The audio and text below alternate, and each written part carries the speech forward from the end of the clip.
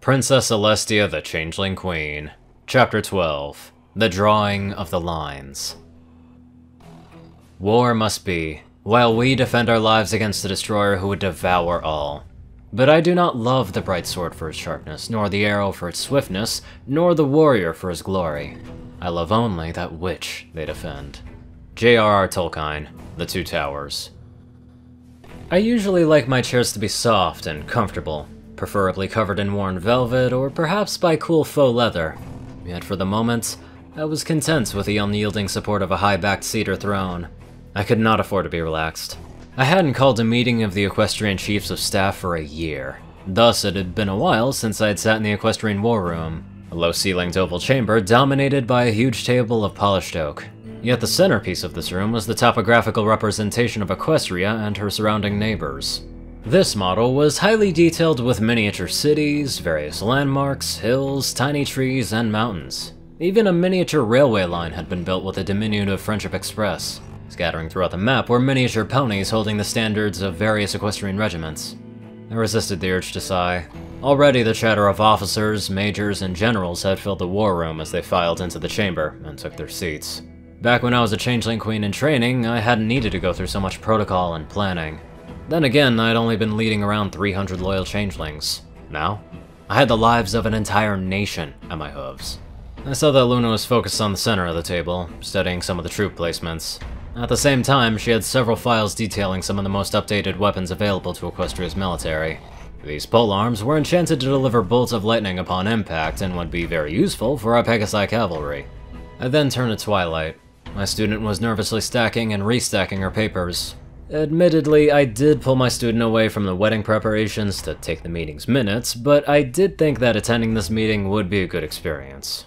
With a final glance to the clock, I decided it was time to begin. the buzz of officers and commanders ceased. Raising my voice, I addressed the entire chamber of ponies. Shining Armor, Captain of the 2nd Equestrian Royal Guard. Just to my right, my loyal captain snapped a textbook salute. He had abandoned his red wedding parade jacket for his Royal Guard captain armor. The smile was gone, I stalwartly facing forward. General Caesar Salad, of the 1st Dragoon Guards and of Central Army Group. My eye searched the room to see Caesar, dressed in his trademark toga, raising his vine stick in acknowledgments. The unicorn was a cranky character, but I knew he was loyal to my cause. Major General Iron Duke, of the 88th Manhattan Rangers and of the Northeastern Army Group.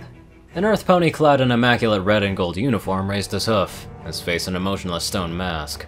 Most ponies would have been put off by Iron Duke's cold demeanor, but I knew he was a softy. When Twilight was younger, he would always sneak her some candy corn when he thought I wasn't looking. Lieutenant Sharp, 88th Manhattan Rangers. The tan earth pony on Duke's right, with a deep scar on his right cheek, saluted quickly, albeit with a wrong hoof. I had heard a few things about Sharp from reports sent by Superior Iron Duke, who wrote about him that Sharp had absolutely no respect for authority, which is his greatest weakness, and admittedly, his greatest strength. Meringue Lefay, head sorceress of the Royal Equestrian Casters. Instantly, I found the cream-colored hoof of the only pony not wearing a military uniform, and her smile. Meringue was a mystery, even to me. Exceptionally skilled in baking magic, the unicorn could make the best lemon meringue pie in Equestria. Yet she devoted herself to pursue combat magic to spell doom for Equestria's enemies. All she would ever wear was a simple velvet green cloak and a sorceress's pointy hat of the same color.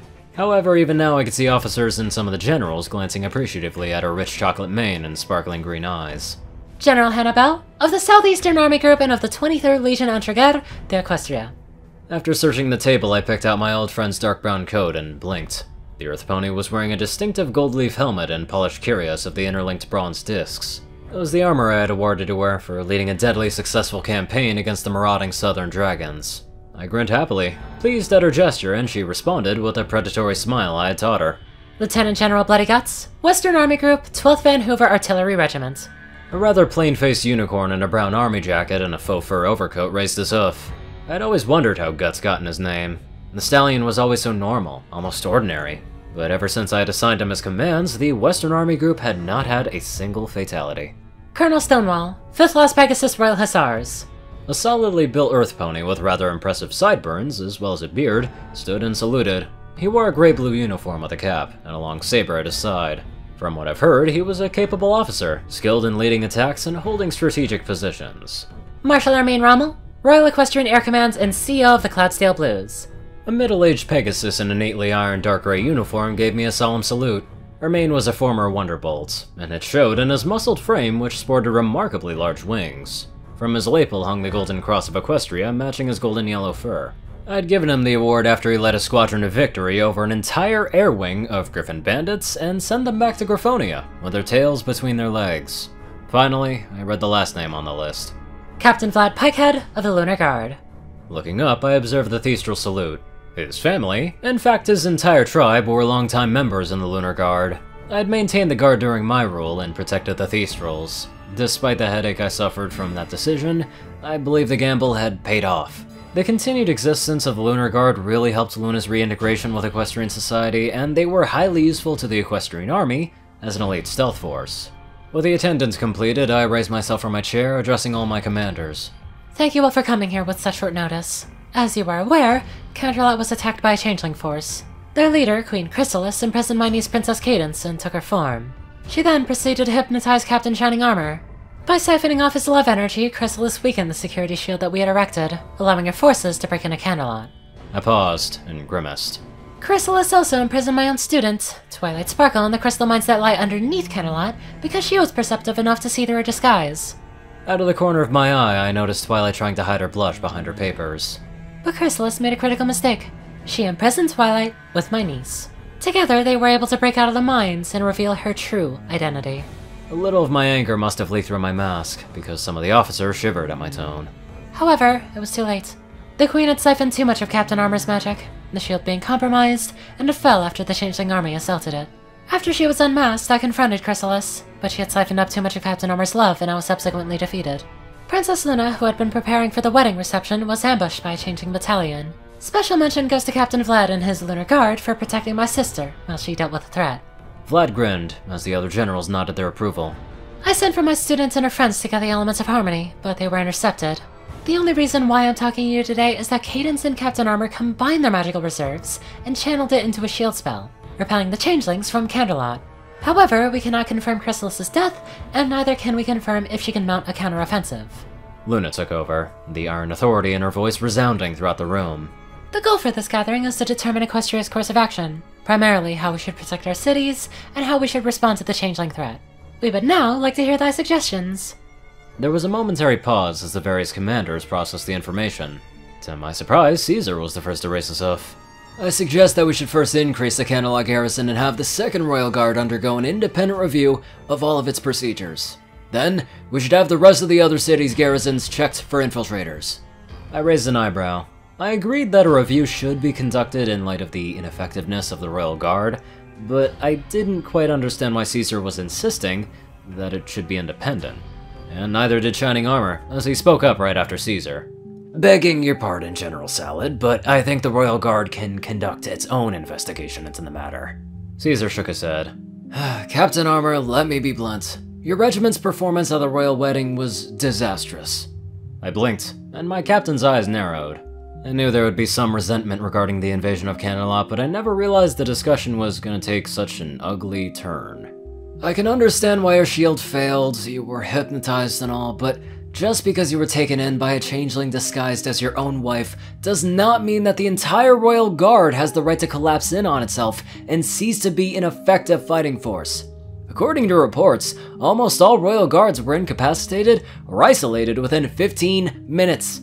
Your Highness, you were captured by Chrysalis herself, and somehow, no pony was able to assist you. I demand to know, Captain Armor, how could you let this military disaster happen? roared Caesar. His vine stick pointed like a spear at Shining Armor. I said nothing, knowing that I had to let my captain defend his own actions against a superior. I'd been alerted to a possible threat by Princess Celestia, although at the time, we knew not what the threat was, neither the size of it. Given the lack of information, I decided to deploy the Royal Guard to maximize security against small group or individual attacks. Hence, I spread the Royal Guard out in small five-pony squads, with several key rally points established within the city, including the Guard Barracks, the train station, and Canterlot Castle itself.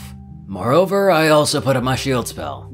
However, this formation was wholly inadequate against the large-scale air-to-ground assault that took place. The patrol sizes were too small, and the changelings were able to isolate and overwhelm them. But if we had been aware of the scale of the changeling attack, I would have deployed my troops in a different fashion. Caesar was still frowning, but he had put his vine stick back down. The other officers were murmuring their grudging approval. What I do wish to know is how could such a large air force sneak into attacking range of Canterlot without any warning whatsoever? asked Shining Armor. I nodded at my captain's question, for it perplexed me as well. Just how was my sister able to sneak an entire changeling army into the middle of Equestria if her hive was in the Badlands? Marshal Ermaine, do you have an explanation for this? You're in charge of monitoring the airspace near Canterlot and Cloudsdale, after all, said Caesar snidely. Rommel then glared at Caesar. We appear to have been infiltrated by the changelings that changed the schedules of the patrols. This created an hour-long gap timed exactly for the last vows of the wedding. Admittedly, there could have been more patrols, but we had just completed joint exercises with the Las Pegasus Hussars, and I was loath to tax my exhausted troops any further. Besides, who would have expected an entire changeling army to slip past the Southern Army Command? I held back a groan, silently wishing our main could have been less blunt. Now all of the officers of the Southern Army Command were furious. Hannibal herself had risen to her hooves, dark eyes flashing menacingly. Damn, some of them are very eager to put the blame on the other commanders. I feel bad for those poor bastards. Anyways, let's get on to our leaders of donators. Top donators TacoCat598, Peter Coleshard, J Tinman, Darkside, Ponyman, and Gauntlet.